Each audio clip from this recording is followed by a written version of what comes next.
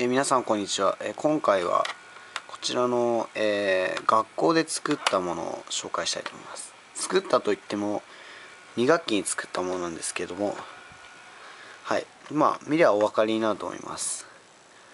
え、っとラジオとかランプとかそういったものが炭酸電池2個もしくは手回し発電機で使えるまあ災害用のそういう何て言うんでしょうね。こういうの多機能なまあそういうやつです。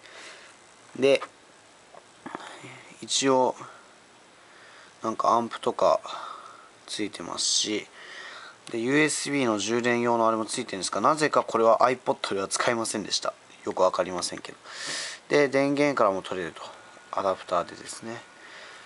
はい。でそこでですねえー、まあちょ今回の地震もあったのではいこちら家ではちょっと一応災害もしあの停電などが起こった時用に使うことにしています。他にも何個かいっぱいあるんですけどでそこでこちらの N ループを入れます。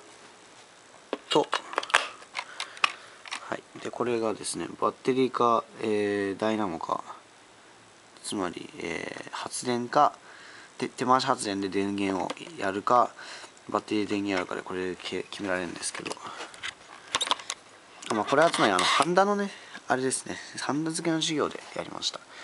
やりますとはいおめでたいことにちゃんと光ってくれますし、えー、ラジオもですねはいこんな感じで拾ってくれます。ちょっと。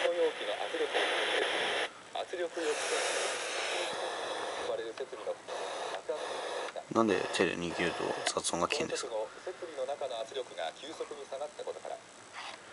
はいというわけで、えー、今回はこちらの学校で作ったものに、まあ、N ループをやるというまあ、くだらないといえばくだらないですけどそういう動画を、えー、撮りました